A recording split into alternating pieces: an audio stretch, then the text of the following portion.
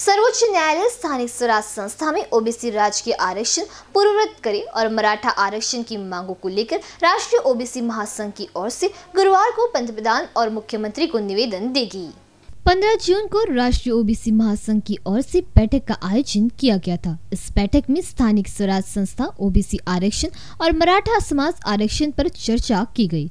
इस बैठक में दोनों विषयों की मांगों को लेकर कड़ी भूमिका ली गई। अब राष्ट्रीय ओबीसी महासंघ की ओर से भी आंदोलन कर अपनी मांगे सरकार के सामने रखी जाएगी। महासंघ के राष्ट्रीय अध्यक्ष बबन राव तायवाड़े ने पत्र परिषद में कहा की आगामी 24 जून को सभी जिलाधिकारी व तहसीलदार द्वारा प्रधानमंत्री और मुख्यमंत्री को मांगों का निवेदन दिया जाएगा। साथ ही 26 और 27 जून को लोनावला में ओबीसी चिंतन शिविर का आयोजन किया गया है।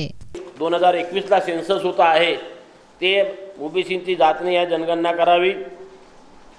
दोनशे त्रेचाळीस डी आणि तीमध्ये अमेंडमेंट करून या राज सत्तावीस टक्के राजकीय आरक्षण सुरू ठेवावं. नॉन क्रिमिलेटची मर्यादा चार वर्ष झालं वाढलेली नाही आहे ती वाढवून जोपर्यंत असंविधानिक नॉन क्रिमिनलची अट रद्द होत नाही तोपर्यंत ती पंधरा लाख रुपये करून बी पी शर्मा कमिटी रद्द करावी. ओबीसी कर्मचाऱ्यांना पदोन्नतीमध्ये आरक्षण लागू करावं.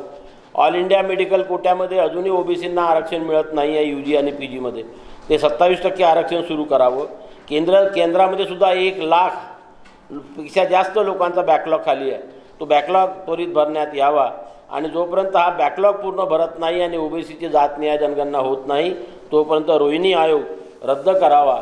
या सर्व मागण्या केंद्र आणि सर राज्य सरकारपुढे मांडण्याकरता आम्ही परवाला चोवीस तारखेला महाराष्ट्रामध्ये संपूर्ण जिल्ह्यात राष्ट्रीय ओबीसी महासंघातर्फे निदर्शने करून मान्य जिल्हाधिकाऱ्यांना हे आमचं राष्ट्रीय ओबीसी महासंघाचं निवेदन मुख्यमंत्री आणि प्रधानमंत्र्यांना पाठवून या आमच्या ल मागण्या लवकरात लवकर पूर्ण कराव्यात अशी विनंती आम्ही करणार आहोत. आणि सरकारने जर याकडे लक्ष दिलं नाही तर पुढे काय? वे ऑफ ॲक्शन आम आपण घ्यायची याच्याकरता सव्वीस आणि सत्तावीस जून येत्या सव्वीस आणि सत्तावीस जूनला लोणावळा येथे आमची ओ बी सी समाजाच्या सर्व राजकीय नेते सर्व पक्षाचे आणि ज्या प्रमुख संघटना काम करतात त्यांच्या पदाधिकाऱ्यांची दोन दिवसाची चिंतन बैठक आहे. ह्या कोण्या पक्षाचा पक्षाची चिंतन बैठक नाही. त्या याच्यामध्ये आम्हाला छगन भुजबळ साहेब विजय वडेट्टीवार मान्य अण्णाजी डांगे ब चंद्रशेखरजी बावनकुळे दत्तात्रयजी भरणे संजय राठोड नानाभाऊ पटोले ब एकनाथ खडसे पंकजाताई मुंडे आता माणिकराव ठाकरे येणार आहे सुनील केदार साहेब.